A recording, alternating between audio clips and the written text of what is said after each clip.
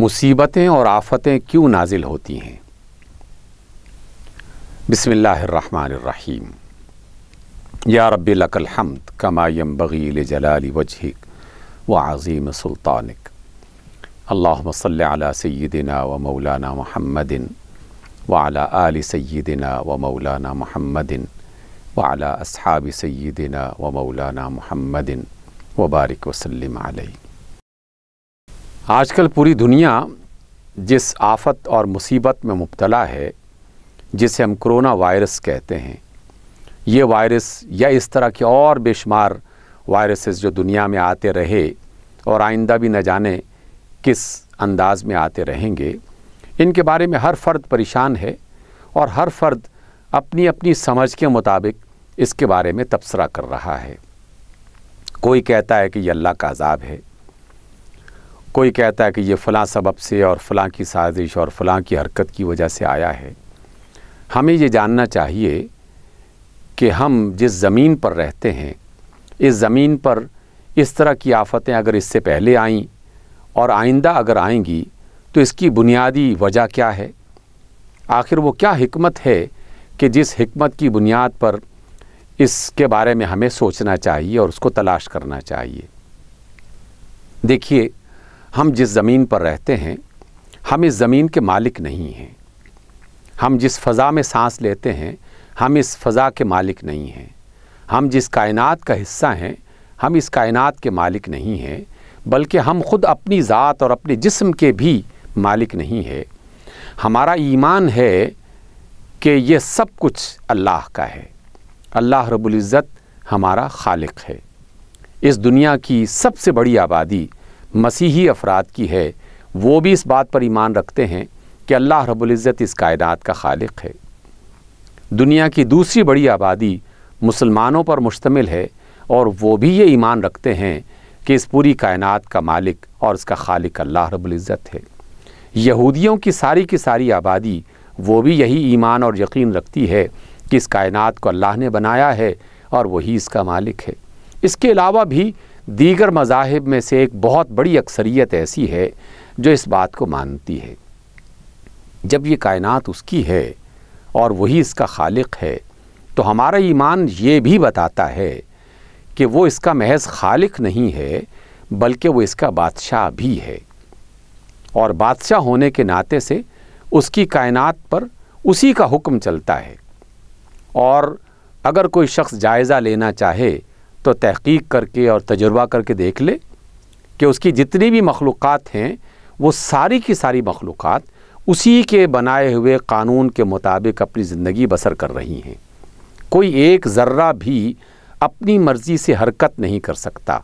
कोई एक पतंगा, कोई एक पौधा, कोई एक दरख्त, कोई एक जानवर, कोई एक चीज़ पहाड़ों से लेकर बादलों तक और ज़मीन के ज़र्रात और चाँद सितारों से लेकर कहकशाओं तक कोई चीज़ ऐसी नहीं है कि जो अपनी मर्ज़ी से कोई काम कर रही हो।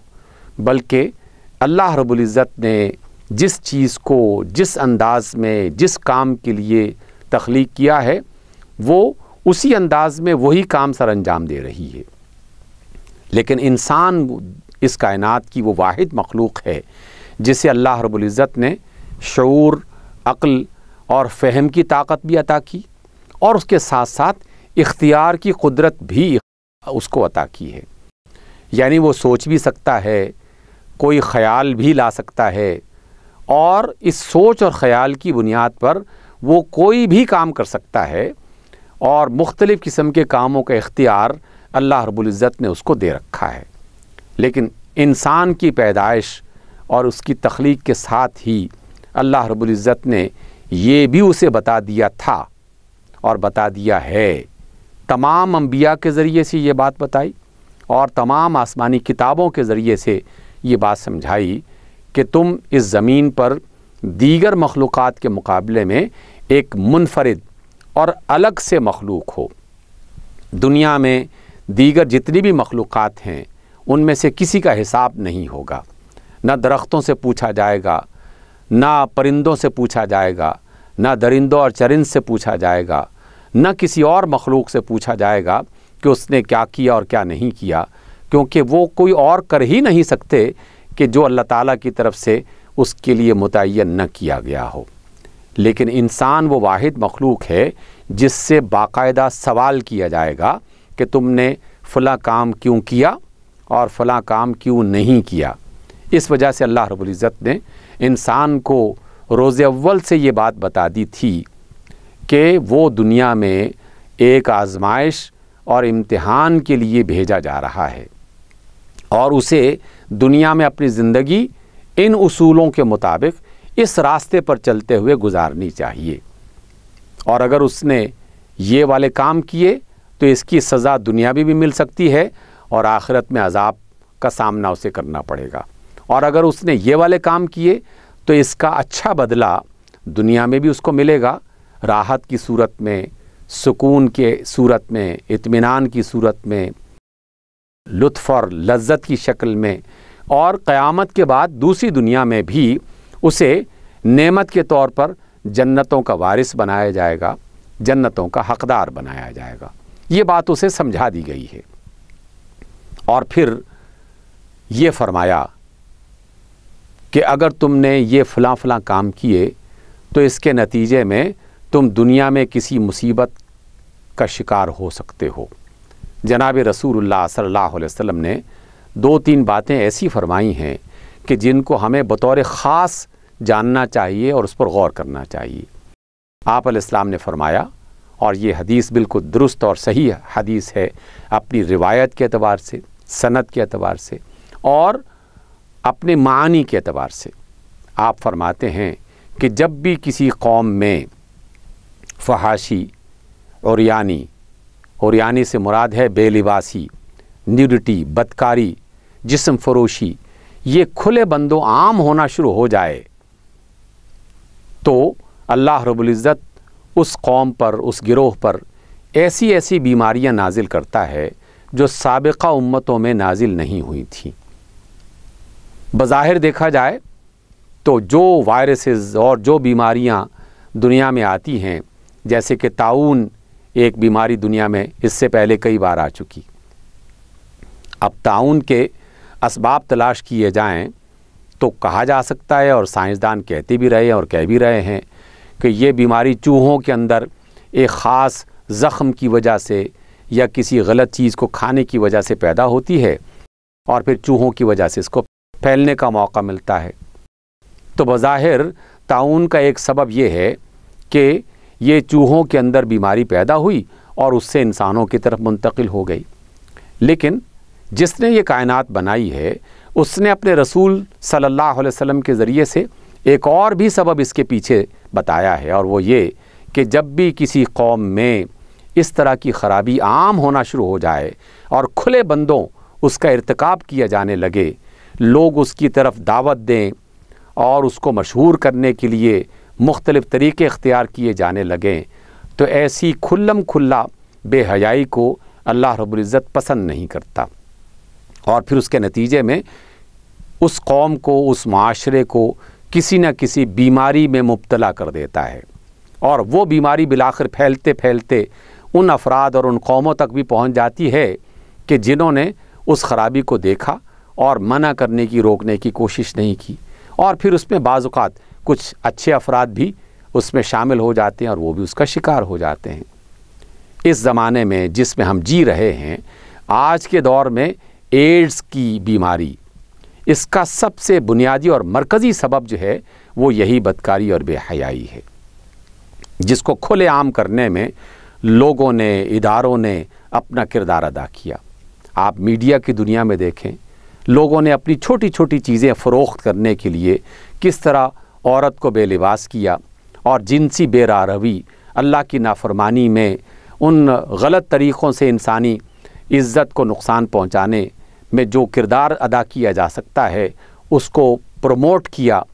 ऐसे अफराद को कि जो इस तरह की ख़राबियों को बढ़ाने वाले हैं और फैलाने वाले हैं, उनको मुआज़ बना के माशरे में एक अच्छा फ़र्द और स्टार्स के तौर पर और काबिल फ़ख्र शख्सियात की सूरत में बार बार पेश किया जाता रहा और किया जा रहा है तो उसका नतीजा ऐसा हो सकता है, क्योंकि ये रसूलुल्लाह सल्लल्लाहु अलैहि वसल्लम का फरमान है। देखिए, अल्लाह ताला जो इस कायनात का मालिक है, उसके नामों में से एक नाम है अल्फातिर, और अल्फातिर ही से फितरत बना है।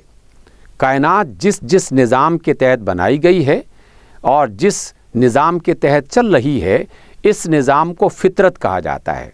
और इस फितरत का बनाने वाला अल्फातिर है।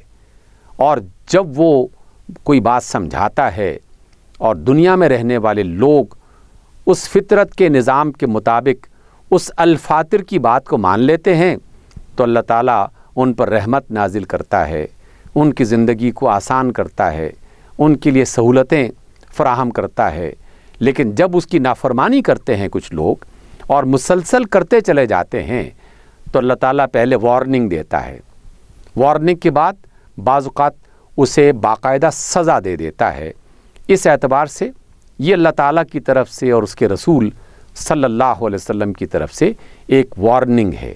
फितरत समझाती है और जब कोई न माने तो फिर वो अपने अंदाज में उनका इलाज करती है। एड्स या इस तरह की दीगर बीमारियाँ जो वजूद में आ चुकी और आ रही हैं, ये दरहकीकत वार्निंग है अल्लाह ताला की तरफ़ से और ख़बरदार किया जा रहा है कि अगर तुमने अल्लाह ताला की इस नाफरमानी से अपने आप को बचाने की कोशिश न की तो इससे भी ज़्यादा ख़तरनाक बीमारियों में तुम मुबतला किए जा सकते हो।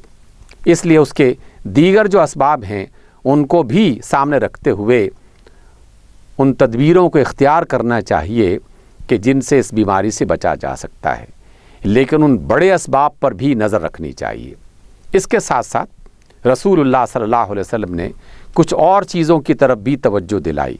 मसलन, दीन इस्लाम का बुनियादी जो सबक है और बुनियादी जो तालीम है, वो पाकिजगी, तहारत और सफ़ाई सुथराई है। सफ़ाई सुथराई बज़ाहिर एक नज़र आने वाली चीज़ है किसी का लिबास साफ़ सुथरा है, नज़र आता है। किसी का मकान साफ़ सुथरा है, नज़र आता है। किसी की सड़कें, गलियाँ साफ़ सुथरी हैं, नज़र आती हैं।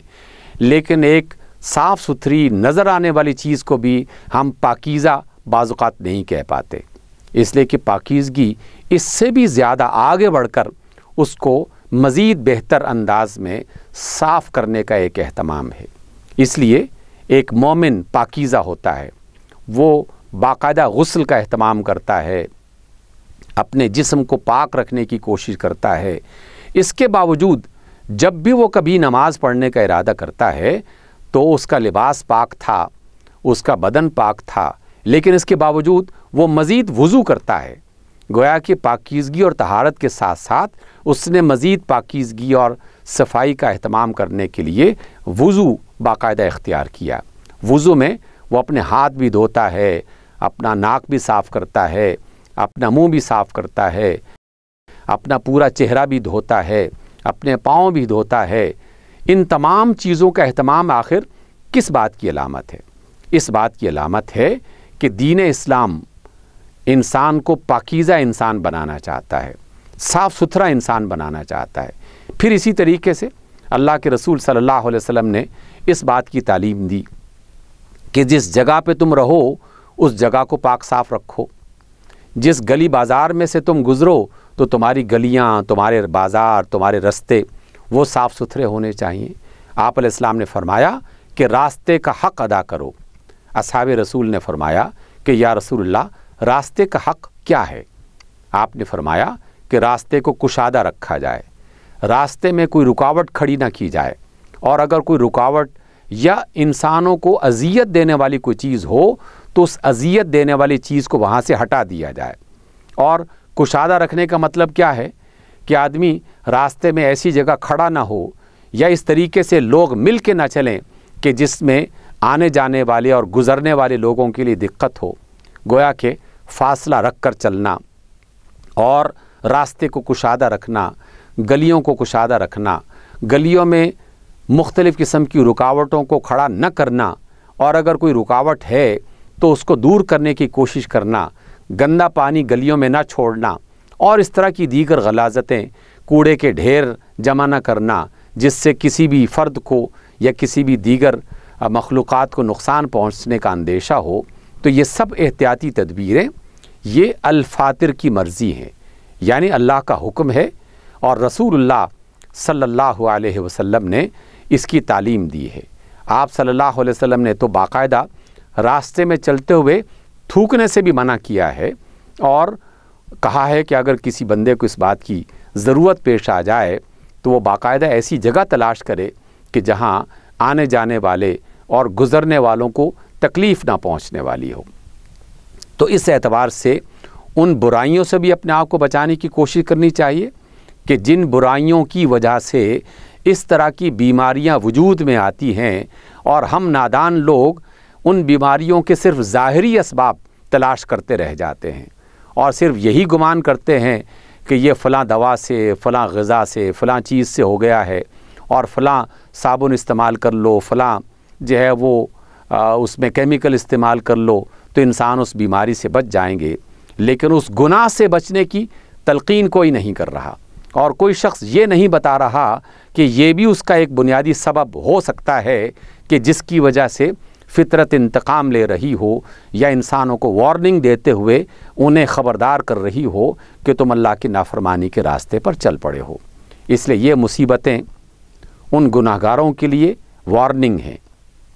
और जो लोग अल्लाह की इतात करने वाले हैं उनके लिए जहाँ अजर का बायस है कि वो भी अगर किसी की गलती का शिकार होकर इसमें मुबतला हो गए हैं तो रसूलुल्लाह सल्लल्लाहु अलैहि वसल्लम के फरमान के मुताबिक कि अगर कोई शख्स किसी ऐसी आफत ज़दा इलाक़े में मर जाता है तो उसका दर्जा शहदा का दर्जा है, यानी वो शहीद होगा। तो जहाँ अगर कोई शख्स नेक पारसा आदमी है और लोग कहें कि जनाब ये तो बड़ा नेक आदमी है, आखिर इसको ये बीमारी क्यों लग गई? तो बीमारी का लग जाना वो उसका एक निज़ाम का एक हिस्सा हो सकता है, लेकिन अल्लाह ताला वो अदल करने वाली हस्ती है, उसकी रहमत ख़त्म नहीं होगी, वो उसे शहीद का दर्जा दे देगी और उसके लिए आखिरत में नजात का रास्ता बन जाएगा। लेकिन जिन लोगों ने उन खराबियों को इख्तियार किया और जो अल्लाह ताला की इस नाफरमानी को प्रमोट कर रहे हैं और करते चले जा रहे हैं, उन्हें यकीनन तवज्जो करनी चाहिए कि ये एक छोटी सी बीमारी ने पूरी दुनिया को हिला के रख दिया है तो क्या अल्लाह ताला की कुदरतों में ऐसे तरीक़े मौजूद नहीं है कि वो पूरी दुनिया को अगर तबाह करना चाहे तो कौन ऐसी ताकत है जो उसके इस इरादे को रोक सके या उसके फ़ैसले के सामने खड़ी हो सके? इसलिए हमें अल्लाह की नाफरमानी से अपने आप को बचाते हुए उन तरीक़ों को इख्तियार करना चाहिए, जिनसे एहतियाती तदबीरें भी इख्तियार की जा सकती हैं और इन बीमारियों से अपने आप को बचाया भी जा सकता है।